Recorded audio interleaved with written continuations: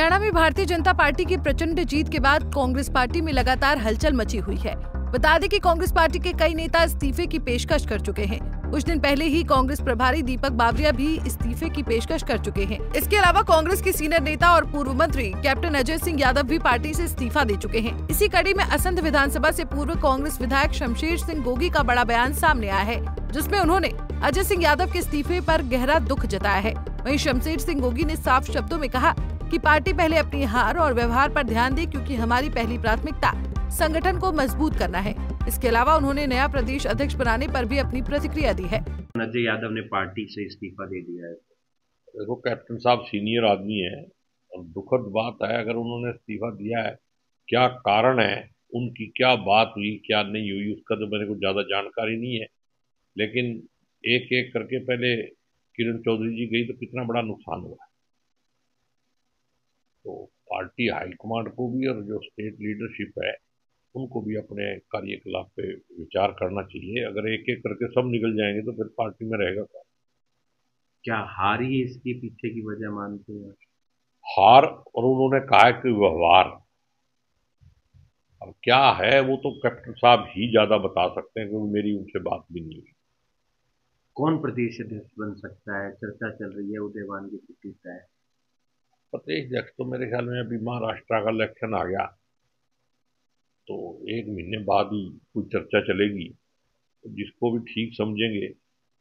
मेरे हिसाब से अब ऐसे आदमी को बनाना चाहिए जो बिना एमएलए के मुख्यमंत्री ना बन के ना बना के सिर्फ़ पार्टी को काम मज़बूत करे। सर अगर आपको ज़िम्मेदारी मिलती है और मेरे को ज़िम्मेदारी पार्टी देगी देगा को देगा कोई? लेकिन अगर पार्टी देगी तो मेरे को कोई दिक्कत नहीं मैं सारी उम्र पार्टी के लिए ही है। और मैंने तो पार्टी में ही रहना है। ऐसा नेता नहीं होना चाहिए जो सिर्फ़ एक नेता की बात करे। मैं कहता हूँ जो राहुल गांधी की बात करे उसको आप बढ़ाओ। और दूसरी बात यह है आप सभी नेताओं का मान सम्मान करो। लेकिन पार्टी से ऊपर जाके नहीं पार्टी की कॉस्ट पे नहीं करना। संगठन का काम है। हमारे पास पाँच साल है। अगर हाई कमांड चाहेगी तो हम, मैं तो कहता हूँ भाई, एक एग्ज़ाम्पल के तौर पे, मैं कहता हूँ मेरे को दे दो तीन साल के लिए। बाद में अगर जो इलेक्शन के लिए, वोटों के लिए चेहरा बनाना होगा, बना लियो अगर तीन साल में पहले पार्टी को तैयार तो कर दो। ग्राउंड लेवल पे जो हमने खोया है, पहले उसको प्राप्त करो। बड़ी बड़ी रैलियाँ, मीटिंगें करने की ज़रूरत नहीं है अब।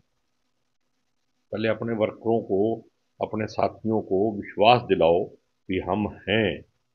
हमने इलेक्शन लड़ा। कोई पीसीसी थी नहीं। हार की ज़िम्मेदारी कोई नहीं ले रहा। हार की ज़िम्मेदारी हमारी है जो हम हार गए।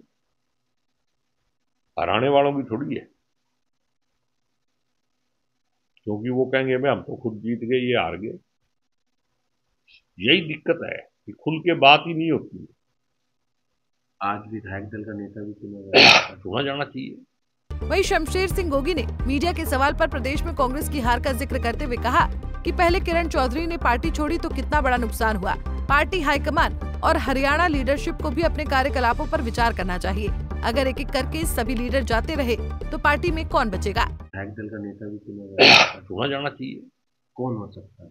कोई भी जो देखो जो विधायक बने हैं ये तो आज क्या करेंगे? मेरे को तो लगता है आखिर में एक लाइन का रेजोल्यूशन आएगा भाई हाई कमांड जिसको बनाएगी वो सबको मंजूर होगा और यही होना चाहिए। शमशेर सिंह गोगी का कहना है कि कांग्रेस ने ग्राउंड लेवल पर बहुत कुछ खो दिया है। पहले जो खोया है उसे हासिल करना ज़रूरी है। चुनाव के दौरान बड़ी बड़ी रैलियाँ करने की ज़रूरत नहीं है। हाईकमान जिसे ठीक समझे उसे प्रदेश अध्यक्ष बना सकता है। साथ ही उन्होंने ये भी कहा कि कांग्रेस प्रदेश अध्यक्ष उसे ही बनाना चाहिए, जो बिना विधायकों के मुख्यमंत्री न बनकर पार्टी को मज़बूत करे। करनाल से ब्यूरो रिपोर्ट, पंजाब की टीवी। हमसे जुड़े रहने के लिए हमारे YouTube चैनल को सब्सक्राइब करें और नई वीडियो की नोटिफिकेशन के लिए बेल आइकॉन को दबाएँ। अगर आप ये वीडियो Facebook पर देख रहे हैं तो लाइक ज़रूर करें और ज़्यादा से ज़्यादा शेयर करें। धन्यवाद।